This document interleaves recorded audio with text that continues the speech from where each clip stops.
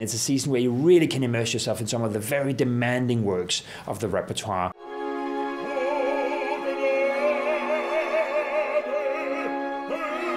In 2013, we're celebrating the bicentenaries of two giants of operatic history, uh, the composers Richard Wagner and Giuseppe Verdi. And we celebrate them with two giant new productions Verdi's uh, Sicilian Vespers, a huge opera in French with ballet, with large chorus, and a fascinating director, Stefan Herheim, who right now is the hottest ticket in the operatic world. He's making his UK debut with this enormous production, which will be conducted by Antonio Pappano. And then Wagner's Parsifal.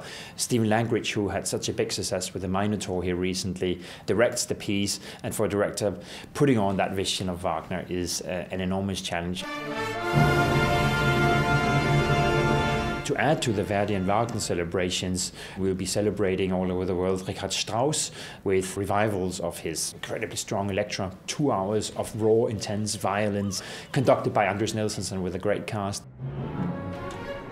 In the spring, his Ariadne auf Naxos, which is playful, theatrical, and funny, conducted by Antonio Pappano, and then a new production of his most demanding piece, uh, Die Frau Die Frau ohne Schatten, an incredible adventure directed here by one of the world's leading opera directors, Klaus Guth, who's never been here before, and conducted by Semyon Bychkov with some of the great voices for this kind of heavy repertoire. We have an opera like La Traviata, which, even if you didn't think you knew it, you will know many of the tunes. But also, we have an opera like Wozzeck, a demanding piece from the beginning of the 20th century, which is so theatrical that if you thought opera is a bit too sentimental for your taste, actually, Wozzeck will really give you the shock of what opera can tell you when it goes to the most painful corners of the human soul.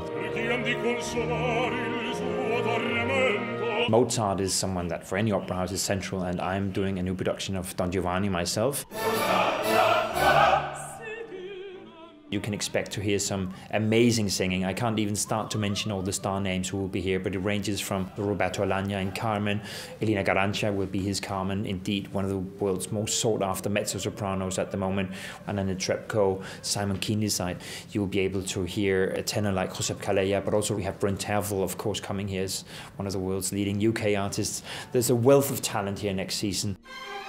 It's really, really exciting for us in the Royal Opera to not just be able to program for the main stage, but also to be able to program for the Linbury Theatre, where we can uh, do more innovative work, where we can do things that we think will move opera forward. I think there are really some stuff happening for the curious minded down there. Basically, it's about looking at the whole rep on both stages and saying, if you're interested in going to opera, what are your tastes? What are you curious about? And I'm sure you'll be able to find many different things that could be for you.